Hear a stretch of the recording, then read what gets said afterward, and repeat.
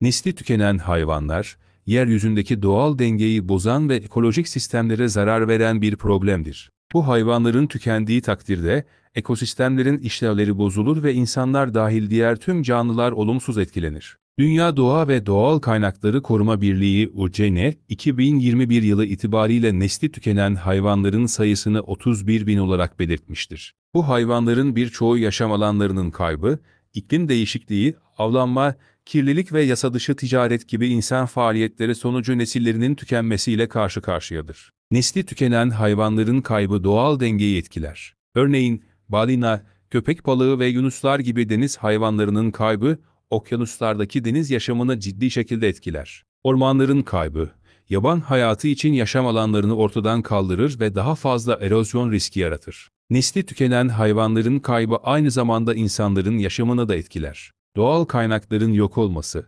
besin zincirlerinin bozulması ve zoonotik hastalıkların yayılması gibi faktörler, insanların sağlığına ve refahına zarar verebilir. Bu nedenle nesli tükenen hayvanlar hakkında bilinçlenme ve koruma çalışmaları çok önemlidir. Bireysel olarak doğal kaynakları korumak, tüketim alışkanlıklarını gözden geçirmek ve sürdürülebilir bir yaşam tarzını benimsemek gibi adımlar atılabilir. Ayrıca sivil toplum kuruluşlarına katılmak ve kamuoyu oluşturma çalışmalarına destek vermek gibi eylemler de bu konuda etkili olabilir.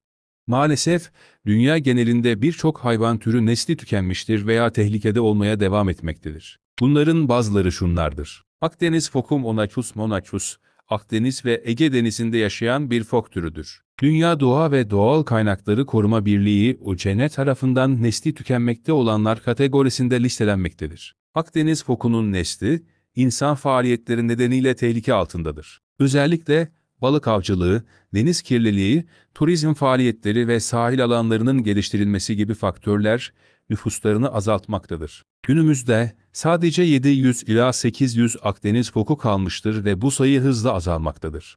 Büyük kokuma avlatınca, tarda, Avrupa ve Asya'da bulunan büyük bir kuş türüdür. Genellikle çayırlarda yaşayan ve yerde yuva yapan bir kuştur. Ancak habitat kaybı, tarım uygulamaları ve avlanma nedeniyle popülasyonları azalmıştır. Bu nedenle büyük kukumavın nesli tükenme tehlikesi altındadır. Bazı koruma çabaları sayesinde popülasyonlarının bir kısmı artsa da, hala çok sayıda ülkenin kırmızı listesinde yer almaktadır. Çin nehir yunusu Hypotes, Çin'in nehrinde yaşayan bir tatlı su yunusu türüdür. Diğer adı tatlı su yunusudur. Bu tür 20. yüzyılın başlarında sayıca oldukça fazla olsa da hızla nesli tükenmeye başladı. Özellikle su kirliliği, barajlar, gemi trafiği ve aşırı avlanma gibi insan faaliyetleri nedeniyle sayıları hızla azaldı. Son yıllarda yapılan araştırmalar, türün doğal yaşam alanında neslinin tükendiğini gösteriyor. Maalesef Çin nehir yunusu, resmi olarak soyu tükenmiş olarak kabul edilen yalnızca birkaç tatlı su yunusu türünden biridir. Maalesef, dağ geyiği popülasyonları birçok bölgede tehdit altındadır ve bazı alt türlerin nesli tükenme tehlikesiyle karşı karşıyadır. Özellikle Avrupa Alplerinde yaşayan Alp dağ geyiği Rupicapra rupicapra ve Kafkas dağlarındaki Kafkas dağ geyiği Georgiasica gibi bazı alt türler nesli tükenme tehlikesiyle karşı karşıyadır. Bunun nedenleri arasında yaşama alanı kaybı, yasa dışı avlanma ve turizmin artması gibi insan faaliyetleri yer almaktadır. Japon deniz ayısı, Kuzey Pasifik okyanusunda yaşayan bir deniz memelisidir. Maalesef bu hayvanın nesli şu anda tükenme tehlikesi altındadır. Bu tür avlanma, deniz kirliliği ve habitat kaybı gibi faktörler nedeniyle nüfusunda büyük bir düşüş yaşadı. 1970'lerde nüfusu 50 bin civarındaydı, ancak şimdi sadece yaklaşık 15 bin birey kaldığı düşünülüyor. Japon deniz ayısı, sadece Japonya'da değil, aynı zamanda Rusya ve Güney Kore'de de yaşar. Bu hayvanların korunması için çeşitli çalışmalar yürütülmekte ve nesillerinin devam etmesi için çabalayan insanlar bulunmaktadır. Kara dik, siyah olarak da bilinir, Afrika'nın güneydoğu kesiminde yaşayan büyük bir memeli türüdür. Yaklaşık 1960'larda Braconit sinekler nedeniyle sayıları hızla azaldı. Ayrıca boynuzları için avlanılması da bu türün neslinin tehlikeye girmesine neden oldu. 2000'lerin başında kara nesli tamamen tükenme tehlikesi altında olarak listelendi. Ancak koruma çabaları sayesinde nesli tükenme tehlikesinden kurtarılmaya başlandı ve son zamanlarda sayıları biraz arttı. Kutup ayısı, küresel iklim değişikliği nedeniyle yaşam alanlarının azalması ve avlanma faaliyetleri nedeniyle tehdit altında olan bir türdür. Bunların sonucu olarak kutup ayısının nesli giderek azalmaktadır. Ancak bazı koruma çabaları ve sürdürülebilir avlanma uygulamaları sayesinde kutup ayısı nesli tükenme tehlikesi altında olmaktan çıkmıştır. Ancak hala hassas bir tür olarak kabul edilmektedir.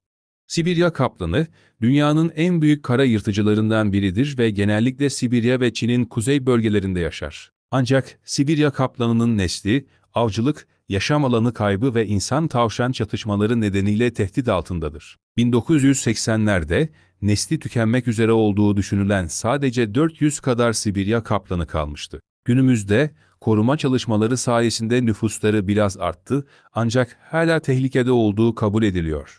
Kaplanı, Endonezya'daki adasına özgü bir alt türdür ve nesli tehlike altındadır. Yaklaşık olarak sadece 400 ila 500 kadar kaplanının kaldığı tahmin ediliyor. Ormanların yok edilmesi, kaçak avlanma ve insanlarla yaşama alanlarının paylaşılması, kaplanının popülasyonunu ciddi şekilde azaltmıştır. Kaplanı, Uluslararası Doğayı Koruma Birliği UCN tarafından kritik tehlike altındaki kategorisinde listeleniyor. Meksika körfezinde yaşayan bir tür küçük deniz memelisidir. Dünya nüfusunun sadece birkaç düzine olduğu tahmin edilmektedir ve bu nedenle dünyanın en nadir memelilerinden biridir. Balıkçılık faaliyetleri, kaçak avlanma ve habitat kaybı nedeniyle nesli hızla tükenmektedir. İçin alınan koruma önlemleri olmasına rağmen, popülasyonu hala ciddi şekilde tehdit altındadır ve türün hayatta kalma şansı oldukça düşüktür.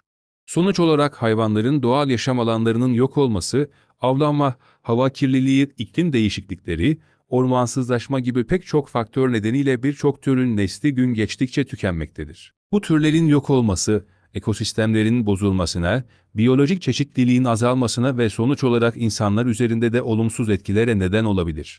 Bu videoda bahsi geçen nesli tükenen hayvanların çoğu, insan faaliyetleri nedeniyle tehlike altında olan türlerdir. Bu türlerin korunması için birçok çaba gösterilmektedir. Örneğin, bazı ülkelerde koruma alanları kurularak habitatlarının korunması sağlanmaya çalışılmaktadır. Ayrıca, sıkı yasaklamalar ve denetimler uygulanarak avlanmanın önüne geçilmeye çalışılmaktadır.